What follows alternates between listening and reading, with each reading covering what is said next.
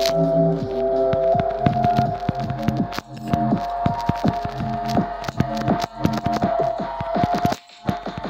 using this set of icon for now.